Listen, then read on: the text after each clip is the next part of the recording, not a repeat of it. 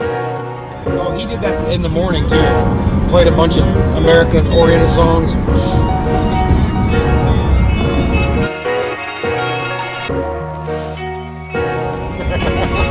That's a good picture.